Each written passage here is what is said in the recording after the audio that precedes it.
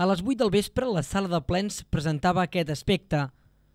Els regidors de l'Ajuntament van aturar la sessió per afegir-se a l'acte de protesta contra la sentència del Tribunal Constitucional sobre l'Estatut de Catalunya. A l'acte, preparat per la plataforma Cardedeu Decideix, que va organitzar la consulta sobiranista Cardedeu el mes de desembre, hi van assistir els regidors de tots els partits menys Alfredo Prenyanosa del Partit Popular.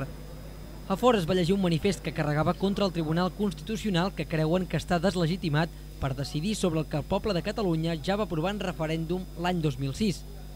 Consideren que aquesta decisió és una agressió més a la dignitat dels catalans i que cal actuar amb fermesa i voluntat des dels partits polítics fins a la societat civil. El manifest, que també demanava el dret a l'autodeterminació del poble català, va culminar amb el cant de la senyera.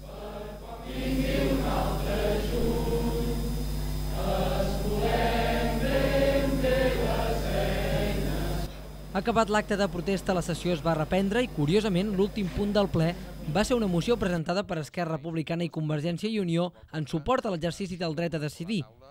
i moltes vegades hem Els partits nacionalistes i independentistes van recolzar la moció, així com també el grup d'Iniciativa per Catalunya. El Partit Popular no va donar suport a la moció i tampoc ho va fer el Partit dels. Socialistes de Catalunya. Llavors, sobre aquesta, sobre aquesta interpretació